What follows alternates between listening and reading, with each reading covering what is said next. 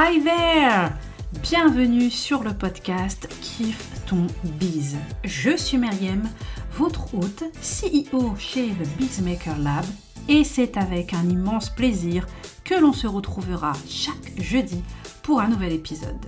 Échoué dans le multivers de l'entrepreneuriat en 2012, j'ai pu explorer pas mal de domaines et me suis découvert petit à petit une réelle passion pour le monde du digital, dont la formation en ligne ainsi que les réseaux sociaux. Ce que je kiffe par-dessus tout, eh bien ce sont les hacks, les raccourcis. Et aujourd'hui, mon objectif est de vous aider à lancer et développer un business qui vous ressemble, mais le plus sereinement possible. Au programme donc, entrepreneuriat au féminin, marketing digital, stratégie de contenu ou encore social media. Il est temps de kiffer ses débuts. Alors, laissez-moi être votre fameuse geek dans le fauteuil. Ready? On s'installe bien confortablement pour l'épisode du jour. Let's dive in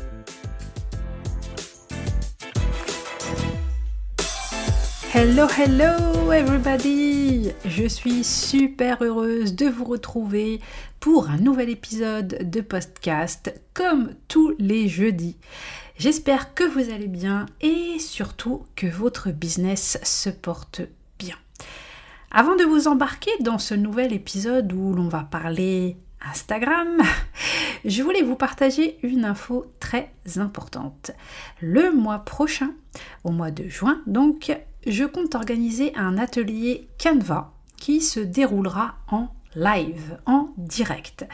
Alors pour le moment, je ne sais pas encore si je ferai ça sur un jour ou deux, mais d'après les sondages que j'ai partagés sur Instagram, euh, vous êtes plus, plus intéressés plus par un atelier qui durerait deux jours, donc je ne sais pas trop.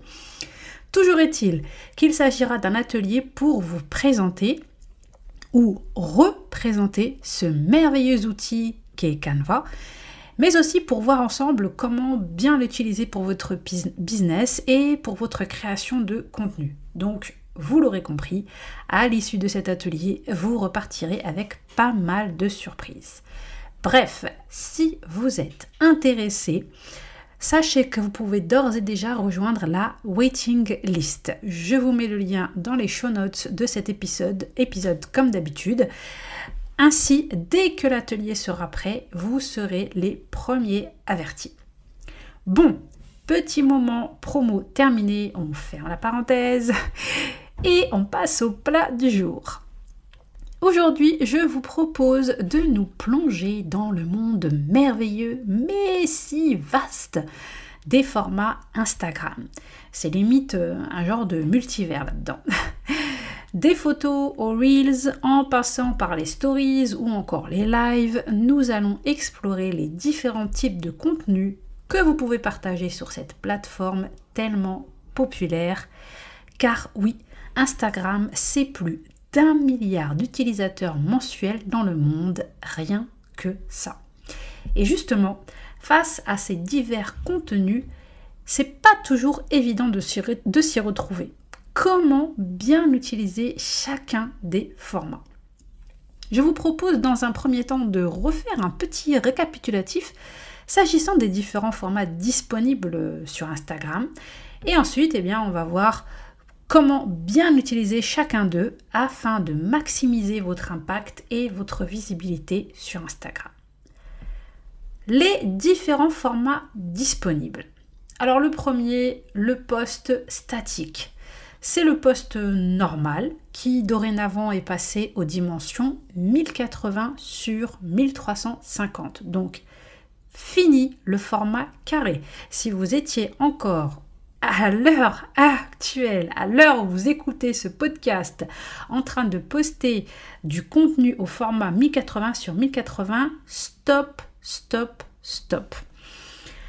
Par contre, n'oubliez pas une chose hyper importante, c'est que sur votre feed, votre contenu donc euh, qui apparaît dans votre, dans feed à vous, dans votre profil avec la vue grille, c'est toujours le format carré qui est pris en compte. Qu'est-ce que ça veut dire? Eh bien, ça veut dire que quand vous allez euh, créer votre visuel, donc au format 1080 sur 1350, assurez-vous bien que les informations importantes restent bien à l'intérieur du carré centré, donc 1080 sur 1080. Ça, c'est quelque chose de très facile à faire sur Canva. J'ai déjà fait des tutos sur YouTube pour expliquer ça, donc n'hésitez pas à aller jeter un œil. Donc vraiment, ça, j'insiste, n'oubliez pas ce détail parce que sinon votre visuel sera coupé sur votre feed et ça, c'est pas terrible. Deuxième format, le carrousel. Alors lui, on le reconnaît très facilement avec les petits carrés qui apparaissent en mode diapo en haut à droite. C'est tout simplement un post avec plusieurs photos ou vidéos. Si vous ne l'avez pas encore remarqué, si vous, ou si vous ne le saviez pas, sachez-le, sachez que vous pouvez tout à fait partager un carrousel avec des vidéos. Et on peut en ajouter jusqu'à 10, donc jusqu'à 10 slides. Idem, pareil que, pour le, le post normal, le format 1080 sur 1350 et donc c'est la première image de votre carrousel que vous allez euh, ajuster donc au format carré car c'est elle qui va apparaître dans votre feed. Ça sera l'image de couverture de votre carrousel. Le troisième format, les incontournables Reels. Donc là, il s'agit d'un contenu vidéo dont le format est 1080 sur 1920. Ils peuvent dorénavant avoir une durée allant jusqu'à 90 secondes. Très important, les Reels apparaissent en 1080 sur 1350 sur le fil d'actualité normal et leur couverture, elle, est bien au format carré dans votre feed grille. Donc ça, c'est pareil, il faut faire attention quand vous allez créer votre couverture de Reel, qu'elle ne, se, que, qu'elle ne se retrouve pas coupée dans le feed gris de votre, euh, grille de votre profil. Sauf si, au moment de poster votre Reel, vous décidez de ne le laisser visible que sur votre, votre feed Reel. C'est-à-dire que les gens ne pourront voir votre Reel que s'ils cliquent sur l'onglet Reel dans votre profil.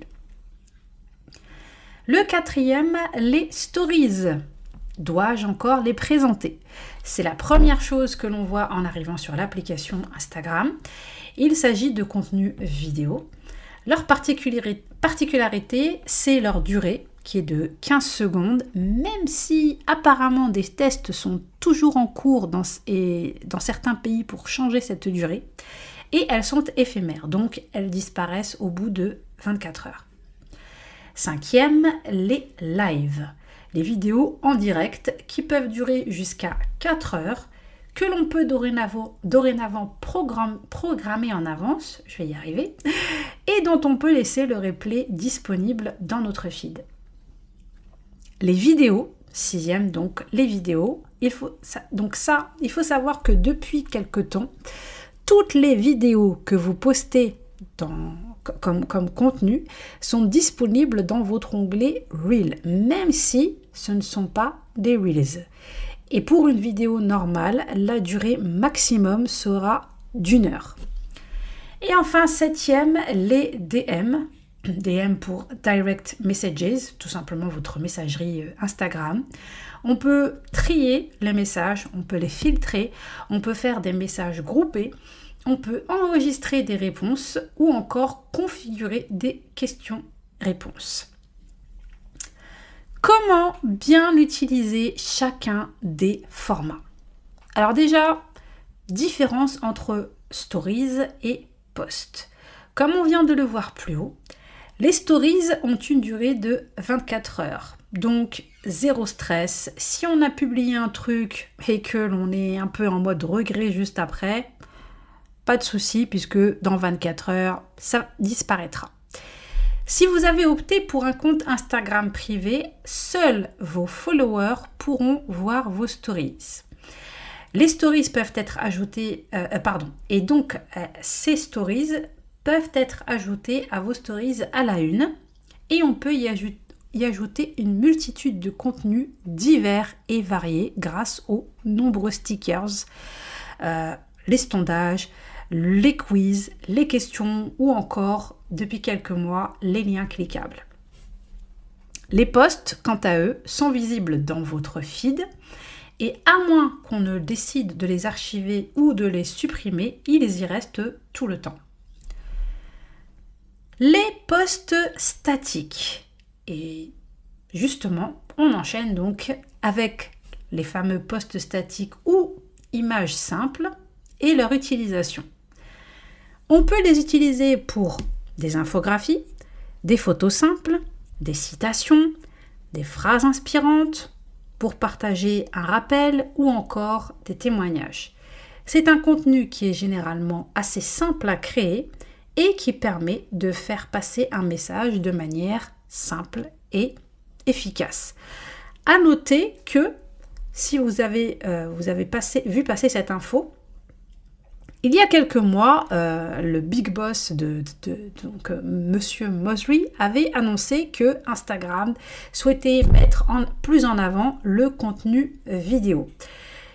Et finalement, petit retour en arrière, ils sont, Instagram est revenu là-dessus et en fait, s'est ravisé et a dit que non, que Instagram à la base était quand même une application photo. Et donc vous remarquerez que maintenant on, est à nouveau dans un mode où les photos reprennent euh, de l'importance et reprennent une place importante, j'ai envie de dire. Donc contrairement à, une certaine euh, euh, période où on avait vraiment l'impression que si on ne produisait pas de vidéos, notre contenu était un petit peu moins visible. Après, Peut-être que vous, vous n'avez même pas fait la différence. Ça, c'est tout à fait possible. Les carousels. Alors, les carousels sont un excellent moyen pour vous de raconter une histoire et de partager votre expertise. Vous pourrez les utiliser pour des avant-après. Pourquoi pas euh, les résultats de vos clients avant et après avoir bossé avec vous. Mais aussi pour partager des tutos simples, des astuces, des conseils, des hacks. Le but sera de créer du contenu que l'on aura envie de partager et d'enregistrer. Du coup, pensez à un titre accrocheur pour votre première slide. Donc il faut que votre titre soit accrocheur et bien visible. Ensuite, dans la deuxième, pensez à insérer un bon suspense, quelque chose qui va vraiment donner envie de continuer, qui va attirer la curiosité et donner envie donc de swiper pour lire la suite. Pourquoi je vous dis ça? Eh bien parce que, info hyper importante, spoiler Au cas où vous ne l'auriez pas encore remarqué, sachez que si une personne consulte votre carrousel, eh bien Instagram, euh, et qu'elle ne swipe pas pour lire votre carrousel, Instagram va le lui proposer une deuxième fois dans son feed. Donc vous avez du coup deux fois plus de chances d'attirer l'attention de, votre, ah, des abonnés. Et sachant que cette fois-ci, eh bien, ce sera la deuxième slide qui va s'afficher. Alors, j'en profite aussi pour vous dire que, bien évidemment, ne mettez pas uniquement sur votre deuxième slide, enregistre pour plus tard.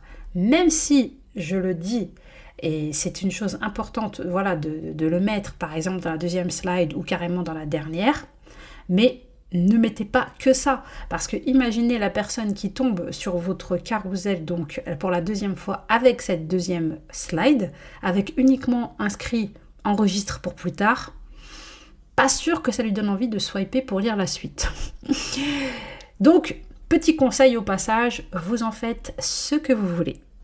Et enfin, n'oubliez pas, bien entendu, à la dernière slide d'insérer un appel à l'action. Il faut toujours, toujours dire à vos, à vos abonnés, à votre, voilà, à vos followers ce que vous voulez qu'ils fassent. Il faut leur demander. Si vous ne leur demandez pas, ils ne feront rien. Les Reels. Il s'agit donc de vidéos courtes avec des sons tendances, les fameuses trends. Les Reels peuvent être utilisés justement pour suivre une trend, pour partager vos BTS, ce qu'on appelle les BTS, les behind the scenes, les backstage de votre business, hein, tout simplement, pour des tutos, pour des time-lapse en mode conseil, tuto aussi, ou encore des vidéos euh, en mode humour pour casser un mythe ou une idée reçue. Du contenu qui va éduquer votre audience et asseoir votre expertise. Alors le super hack du moment pour les Reels qui fonctionne à fond, à fond les manettes et que je suis sûre vous avez déjà vu plusieurs personnes le faire et ça a commencé bien sûr du côté des anglophones qui sont toujours à un petit cran d'avance par rapport à nous, c'est de mettre un teaser dans votre vidéo et d'inviter à lire la légende pour la suite. Ça, ça va aider à quoi? Eh bien, ça va aider à booster ce que l'on appelle le watch time, c'est-à-dire que ça va permettre que les gens restent plus longtemps sur votre reel. Donc, pendant qu'ils vont lire la légende de votre reel, votre reel, lui, va rester à tourner en boucle. Ce qu'il faut faire déjà, c'est euh, partager un reel qui ne soit pas trop long. Et ensuite, eh bien, faire, utiliser cette astuce-là. Alors, comment, comment procéder concrètement? Eh bien, par exemple, vous allez faire un reel où vous allez dire trois euh, trois, choses euh, trois choses importantes qui ont impacté mon mindset. Trois choses que j'aurais aimé, que j'aurais aimé, que j'aurais, ah, je vais y arriver. Trois choses que j'aurais aimé savoir avant de me lancer. Et lis la légende et vous mettez donc une flèche pour dire que pour, les, pour que les gens eh bien, découvrent ces trois choses, eh bien, il faut qu'ils lisent la légende de votre reel, tout simplement. Les lives c'est le meilleur moyen d'interagir en direct avec votre communauté. Vous pouvez faire des interviews, lancer des débats, faire des petites sessions FAQ, même en profiter pour faire une mini formation. N'oubliez pas de prévenir votre audience afin que le plus de monde possible soit disponible en live. Et puis franchement, c'est quand même beaucoup plus sympa que de faire un live en mode toute seule. Les, lives euh, permettent d'instaurer une vraie relation de confiance, de proximité, de, bien montrer votre expertise, mais aussi, par la même occasion, de vous connecter avec une nouvelle audience. Donc, vraiment, ne les négligez pas. Et n'hésitez pas à en faire un toutes les deux semaines, euh, un tous les mois. Enfin voilà quoi, c'est quelque chose que je vous recommande vivement de faire. Et puis franchement, c'est super sympa. Et contrairement à ce que vous êtes peut-être en train de vous dire au moment précis où je suis en train de vous parler, non, vous n'êtes pas obligé de vous montrer. Vous pouvez tout totalement euh, mettre la caméra en off et du coup les gens eh verront seulement euh, votre image de profil ou alors vous pouvez filmer votre écran avec un fond, enfin bref, à vous de voir, mais sachez que vous n'êtes absolument pas obligé de vous montrer. donc si euh, pour vous pour l'instant vous êtes en mode anonyme, vous pouvez faire des lives en mode anonyme. Et enfin, les DM, c'est là que se tissent les meilleurs liens. De nombreuses personnes arrivent à vendre, il faut le savoir, via les messages privés sur Instagram. Alors attention, il n'est pas question ici de harceler vos abonnés, comme certains messages en mode spam que je reçois moi-même et qui franchement donnent plutôt envie de bloquer la personne que de lui répondre. Non, ça, ça va vous permettre les messages privés donc vont vous permettre par exemple d'entrer en contact avec les personnes qui répondent, qui prennent le temps de répondre à vos sondages pour leur demander plus d'informations, euh, pour créer aussi un réseau, pour partager les liens de vos contenus. Donc ne partez pas, enfin ne faites pas ça en mode stratégie, ne fonctionnez pas en mode stratégie. Restez naturel et n'hésitez pas à échanger avec les, personnes qui sont régulières sur votre contenu. Genre les personnes qui regardent toutes vos stories, qui participent à tous vos sondages, à tous vos, tous vos quiz, tous vos quiz. Ces personnes sont clairement très intéressées par votre contenu. Alors dites-leur ce que vous avez à leur offrir. Elles sont là, elles sont à votre écoute, elles vous suivent tous les jours, elles regardent toutes vos stories. Donc ça veut dire qu'elles ont un intérêt, donc à vous, eh bien d'aller à leur rencontre, d'échanger avec elles et de voilà d'aller plus loin. Et puis par exemple, ça peut aussi vous aider euh, via les DM et justement en voyant ces personnes qui sont très souvent, donc qui sont très assidues dans, à vos stories par exemple, eh bien de, les de leur proposer de faire partie de vos de bêta testeuses pour une de vos futures formations. Ça peut être une idée. Je finirai avec les stories à la une, qui, comme je vous le disais, euh, non, on n'en a pas encore parlé, je crois. Donc les stories, les stories à la une, les fameux highlights, qui sont visibles dans votre profil, mon conseil sera de ne pas en mettre de trop. Allez droit au but, genre une euh, stories à la une pour vous présenter, une pour partager vos produits ou services, une pour partager vos freebies, vos cadeaux, et une pour vos offres, promotions, formations du moment. Parce que n'oubliez pas que trop de choix tue le choix. Et honnêtement, euh, quand on arrive sur certains profils où l'on voit 15 000 stories à la une, bah, on ne sait pas trop par où commencer et ça fait pas très sérieux. Donc vraiment, je vous conseille d'essayer d'en mettre le moins possible. Ça donnera plus envie aux gens d'aller jeter un œil. Nous en avons fini pour cet épisode du jour avec une petite revue des différents formats Instagram ainsi que de leur utilisation. J'espère que tout ceci vous sera utile et vous aidera à mieux optimiser votre temps sur Instagram. Mon dernier conseil sera de tester et de voir quel type de contenu fonctionne le mieux pour vous et aussi celui avec lequel vous êtes le plus à l'aise. Certaines personnes, par exemple, ne postent que des reels, d'autres que des carousels. À vous de voir selon ce que votre audience aime, car votre but, c'est bien ça, c'est de, créer du contenu euh, qui va intéresser votre audience, que votre audience va consommer. C'est tout, donc on, se quitte sur ces belles paroles. Avant de vous laisser, je vous rappelle l'info importante que je vous donnais au début de cet épisode, donc l'atelier Canva que j'anime le mois prochain, donc au mois de juin. Euh, en live. Donc euh, n'hésitez pas à vous inscrire sur la waiting list si vous savez d'ores et déjà que c'est quelque chose qui pourra vous intéresser et comme ça vous serez informé dès que, euh, dès que ce sera prêt, tout simplement. Je vous laisse en vous souhaitant en fonction du moment où vous m'écoutez un bon après-midi, bonne journée, bonne soirée. Merci beaucoup pour votre fidélité. N'oubliez pas euh, de me soutenir et de soutenir le podcast comme d'habitude. On se retrouve très vite pour un nouvel épisode et en attendant, on n'oublie pas de kiffer son bise. Ciao ciao Merci d'avoir écouté cet épisode jusqu'au bout. Si le podcast te plaît, n'hésite pas à aller lui mettre une petite note et un avis sur l'application Apple Podcast ou sur ta plateforme d'écoute préférée.